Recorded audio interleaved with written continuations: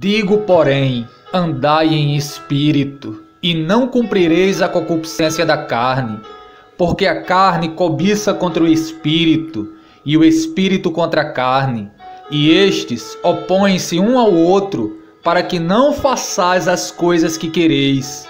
Mas se sois guiados pelo espírito, não estais debaixo da lei, porque as obras da carne são manifestas as quais são adultério, fornicação, impureza, lascívia, idolatria, feitiçaria, inimizades, contendas, ciúmes, iras, pelejas, dissensões, heresias, invejas, homicídios, bebedices, glutonarias e coisas semelhantes a estas acerca das quais de antemão vos declaro, como também já antes vos disse, que os que cometem tais coisas não herdarão o reino de Deus.